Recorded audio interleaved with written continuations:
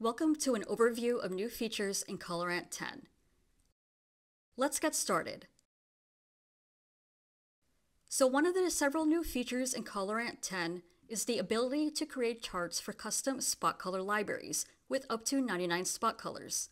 To create a chart for a spot color library is quick and easy. Input the number of spot colors,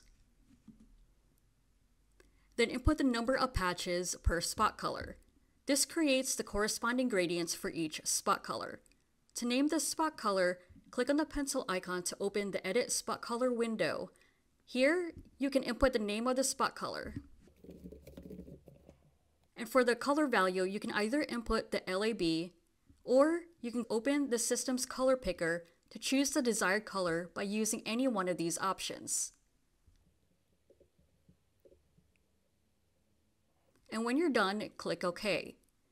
And then you would just repeat the same steps for the rest of the spot colors. And once you're done renaming it, click on Start. In the DCS column, it displays Spot to indicate the color space. You can then go to Export Chart to generate a print chart so you can measure the colors for your custom spot color library.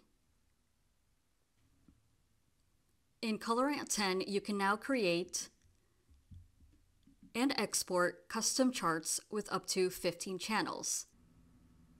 You can create reference files from PDFs that contain spot colors. This means that files containing no space slash LAB information can now be exported as well.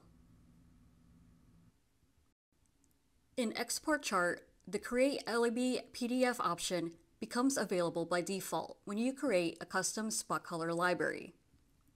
So as you can see here, when the Create LAB PDF option is not enabled, you can see that ColorAnt keeps the names of the spot colors. When the checkbox is enabled, ColorAnt gives you the option to save the chart as either PSD or PDF.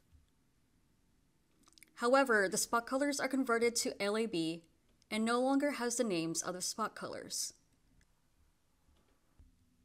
If you need a spot color library with more than 99 spot colors, you can also do that here in Color ColorAnt. What you would need to do is create several small libraries and then combine it using the link tool with the merge by channel name option enabled.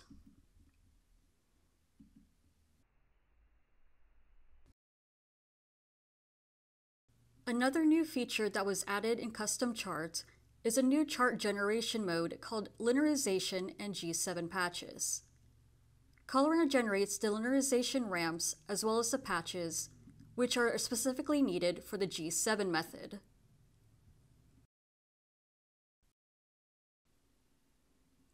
There is a new evaluation method called G7 gray balance. This checks for whether the measurement data conforms to the G7 method. The measurement data report also has additional information for the CMY neutral print density curve and the black neutral density curve. Both the CMY and black print density curves show the weighted average and weighted max before applying the tone value correction with the G7 gray balance method. This makes it easier to see whether a limit has been exceeded or not. Here we have the brightener section, which provides additional information such as the estimated brightener and this is based on predictive model that focuses exclusively on the change of the B value, which is used as an indicator for the brightener. The spot color report has also been updated in ColorAnt 10. The report now shows the custom delta E00 limit defined by the user, as well as a new information column that indicates whether a color is out of gamut. Another new feature in ColorAnt 10 is the ability to measure or remeasure the white point directly and to correct the white point from a dataset. This can be done using either the white-black correction tool or the Edit Primaries tool. To do this, click on the eyedrop icon and click on Measure. This brings up Measure tool with the pre-selected chart for measuring the paper white with only one single patch. Once you're done with the remeasurement, click on transmit and Quit, and the new measurement info will be sent back to the white-black correction tool. Click on Start, and it is then applied to the entire measurement data, keeping the print characteristic intact. In the View and Compare windows, there is a new color filter functionality which is the RGB gray filter. The RGB gray filter displays patches with the same RGB values, such as these patches. Another new feature in the View window is showing the patch location. So when you hover over a patch, the patch location is now shown, if it's available. There is now a search function in the Text tab. The search bar is located at the bottom. Input the text or numerical value that you want to search. Press the Enter key, and all found items are highlighted. Use the arrow buttons next to the search bar to navigate through the list. There is a new tab called Info. The Info tab has two sections. One is the general information where it displays information such as color mode, number of patches, max ink percentage, and estimated brightener, just to name a few, and two, properties such as CMY primary, gray, chroma edge, and composite gray. Sometimes of patches become mixed up. For example, merging several files, which sometimes results in different types of IDs.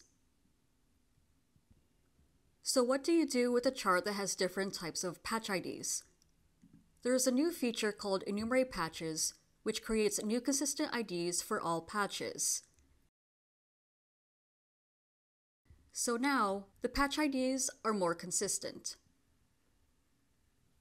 It is now possible to set an individual report title and report logo for each of the four reports in ColorAnt.